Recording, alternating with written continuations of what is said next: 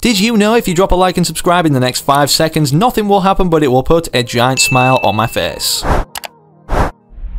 So finally, with the release of Fortnite Chapter 3 Season 2 happening in just under a week on March 19th, again according to the Battle Pass, that isn't going to be delayed in any way, shape or form. For those that don't know, the map changes that are occurring in these final days of Chapter 3 Season 1 now are building up, well, an event to take place in a huge cinematic trailer for Chapter 3 Season 2. And let's just say, based off everything that's been happening this season to do with the Imagined Order versus the Seven, as you can also see by the title, we're not only going to be breaking down what this is leading up to and how the trailer's going to look in today's video, but also showing an early teaser of it. And of course, on top of that too, we have a bunch of general information about the brand new season that perhaps you guys don't know about. So with that said, do yourself a favour if you haven't already decided to sit back, relax with your favourite snacks and stick around to watch the full video. And whilst you're doing that, speaking of favours, one you can do for me before the release of Season 2 and the brand new Battle Pass is enter code FM1 inside the Fortnite item shop. By entering code FM1, you're not only going to be putting a giant smile on my face, but also potentially cheering up my pug Gus after discovering and being kind of sad about the fact he looks like a baby Klombo. He also knows that 70% of you watching right now aren't subscribed. And speaking of subscribing, we're getting incredibly close to 2.4 million subscribers, so if everybody hits the big red button right now, we'd be there in no time. And of course, don't forget this benefits you too, as I gift different subscribers every single day here on this channel, which of course in the near future will be tons of the Chapter 3 Season 2 Battle Pass. But if you want to receive a gift now or in the future, make sure you're subscribing to the channel with all notifications turned on and then comment your Epic Games ID down below and let me know what you'd like to receive so perhaps in the very next video you could be gifted in front of hundreds of thousands of eyes to see. But with that said, now enough messing around, time's ticking away too fast until the release of Chapter 3 Season 2, so make sure of course you don't go anywhere. Don't go anywhere. I'm not, I'm sitting on my Don't back. go anywhere. Okay, so to start out with, in terms of how we get to Chapter 3 Season 2, or a cinematic trailer displaying the progression of that or making sense of the map changes or storyline, firstly you guys need to understand, well, what's been happening this season, of course with the flipping over of the island, revealing the flip side and the location of the Seven's headquarters, this entire time or where they've resided throughout the entire Fortnite storyline. After the end event with the Imagined Order washing up thanks to the events of the oh. Caretaker, while making everybody seem to go underwater anyways, with updates passing with more of these IO drill sites filling the map or around it anyways to accomplish a certain purpose, which we're going to be going over in just a second. Of course, with them setting up permanent base at Covert Cavern, with not only drills seeming to excavate this area to make it bigger in terms of their headquarters itself, kind of looking like the grotto, but also with one big drill going down into the centre of the island, it's clear the IO's purpose is again to obtain power of the zero point to then overthrow the opposing faction on the island being the Seven. More specifically in these final days now, you guys will have noticed that the earthquakes are the newest addition of extreme weather conditions, despite just the tornadoes and the lightning that we've been seeing occur around the map, and the difference between this extreme weather condition of earthquakes and the tornadoes or lightning itself is that yes, they're having permanent changes or effect on the map, as you can see first this house here on the outskirts of Tilted Towers, and now even a Hull 7 outpost that's the most recent one anyways out of all the sinkholes, and believe it or not, these sinkholes are going to have a large effect on a huge map change never seen before in the next season. This intel was revealed actually in the 19.10 or 20 update, basically the one that introduced Tilted Towers when this snow melted back the name location revealing it. With this update happening, of course, it revealed a new POI on the outskirts of it or just behind it being the Devoured, which is the remains of our initial Polar Peak monster from the first final showdown anyways, as we can tell from, well, a crack in the skull where the head got skewered by the Mecha Team leader's sword. And despite nothing developing off of this since it got implemented, of course, we know the IO is responsible from these drilling sites digging things up. However, in the game's coding more specifically, what's interesting is the reveal of a Catus cave that I'm sure a lot of you guys are aware of. Despite there being a whole underground cave system of the Chapter 3 island anyways that we're going to be able to go under or into this cave system when Chapter 3 Season 2 releases. Specifically, what's more interesting on this leaked list of information about the Catus cave in itself is, well, the groans of another Devourer monster living on our Chapter 3 island or under it. I'm not saying we're going to be revealed to this as wildlife next season, kind of like we have the Klombos this season underneath in this Catus cave. But speaking of the Catus cave or underground cave system itself of the Fortnite island, it's clear that the IO are well trying to create several entry or exit points with these sinkholes being, well, those itself. And as you guys know, the Imagined Order like working in secrecy underground or unnoticed underneath things anyways from Chapter 2 Season 7, where they literally created enough of these Imagined Order bombs anyways to actually blow up the mothership being bigger bigger than the island itself. And with these permanent earthquake changes, despite some of them just occurring in-game to shape up like gameplay flow or diversity in terms of that particular game, the permanent ones data miners have been able to find go literally around the outskirts of Tilted Towers, perhaps even implying that this name location is not going to be standing upon the release of next season. But speaking of this drilling process for the caves anyways, as promised I'm going to be showing you guys a tease of a small trailer. We're going to be showing that now made by Sardar Concepts who's linked in the video description down below, so make sure to go and subscribe to him at the end of this video for part 2 when he releases that, but let's roll that clip.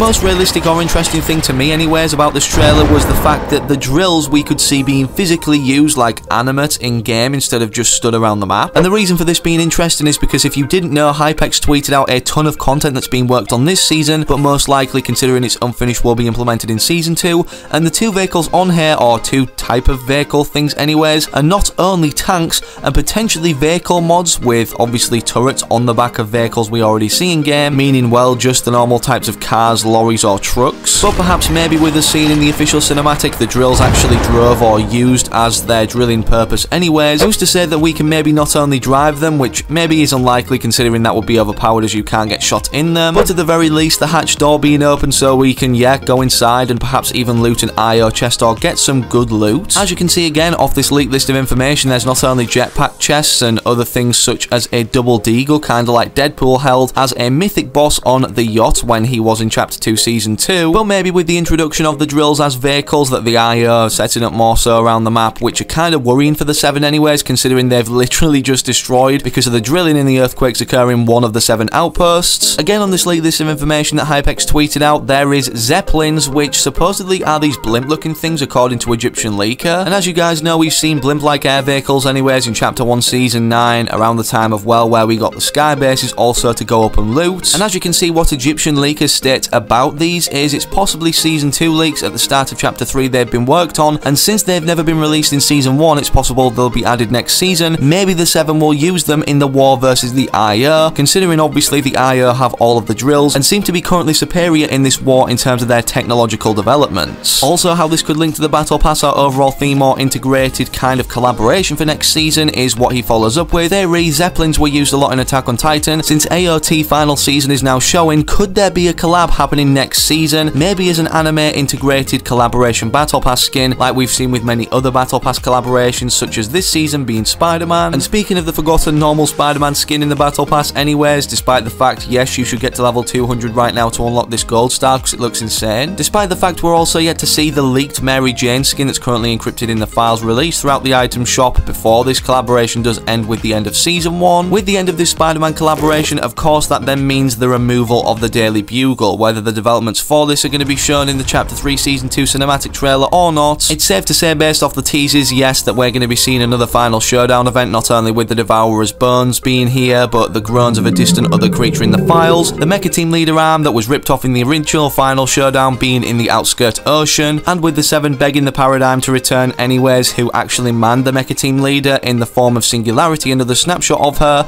in Chapter 1 Season 9's original final showdown event again, with this inactive volcano-like location resembling largely Pressure Plant where the original robot was made to defeat the Polar Peak monster, who's to say that this won't happen again with the return of Paradigm and her knowledge on how to create such a giant robot. Some people were even speculating initially considering the Singularity statue at Neo Tilted was a sword pulled out of the ground that the Foundation statue would be the same, but then this glitch happened and we saw, yeah, nothing is attached to it underneath, or at least hotfix into the game right now. Speaking of the return of Paradigm, however, being one of the members of the Seven, four of which we currently currently know of out of the Visitor, the Scientist, and also the Foundation. Considering there's seven members of the Seven, hence the name itself, yeah, the Seven. And from taking a look at these statues at the Sanctuary, seven of which have their own individual symbols on that we can correlate to already existing members that we know of. From taking a look into the game's coding, it not only reveals the names attached to these statues of the members we already know of, but upcoming ones being the Origin, and then Sister 1 and Sister 2 being the two sisters that the Foundation revealed to us for the first time in the Fortnite universe in the Chapter 2 Season 6 cinematic trailer. And from taking a look at these Fortnite surveys, of which a lot of skins have been pulled into game off of, if we look for any 7 looking like characters, as you can see at the bottom right here, we not only have the Origin with the visor on and off style, which is very clear, but from us seeing these two female near identical skins or characters together, with us also knowing that this comic book issue is going to be releasing in June,